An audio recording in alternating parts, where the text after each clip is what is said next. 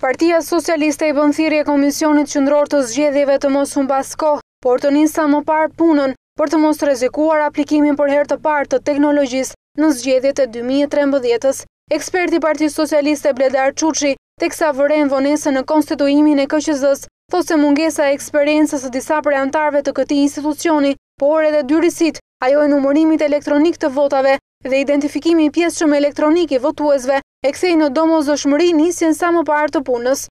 Duhet që të nxisim që KQZ-ja të fillojë punë sa më shpejt, madje duhet të fillojë punë dje, pra, siç është një shprehje, sepse e para kemi një trupë të re të KQZ-së ku e, 60% e saj apo 70% e saj janë të rinj dhe nuk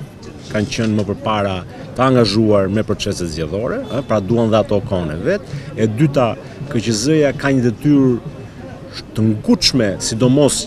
me fillimin e, e punës që brenda një muaji në bazë ligjit duhet të përgatisi, brenda dy muaj në bazë ligjit duhet të përgatisi rregulloren e funksionimit të KQZ-së dhe me fillimin menjëherë të punës për projektin e zbatimit të teknologjisë në zgjedhje në dy qarqe në Fier dhe në Tiranë. Duke nënvizuar se dhjetori i dy mijë e dymbëdhjetë-s është afati maksimal për dekretimin e datës së zgjedhjeve, eksperti i Partisë Socialiste inkurajon presidentin Bujar Nishani të mos presë deri në limitet e fundit kohore, por të përcaktojë sa më parë Ditën kur shqiptarët do të duhet t'i drejtohen kutive të votimit. Ai duhet ta caktojë datën e zgjedhjeve përpara afatit limit, sepse caktimi i datës së zgjedhjeve lidhet ngushësisht me disa procedura të rëndësishme që kanë të bëjnë me përgatitjen e zgjedhjeve të dy mijë e trembëdhjetë-s, ku më e rëndësishmja,